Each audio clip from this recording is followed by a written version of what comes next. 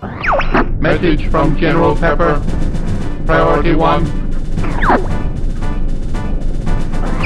We need your help, Star Fox. Andross has declared war. He's invaded the Lylat system and is trying to take over Corneria. Our army alone can't do the job. Hurry, Star Fox.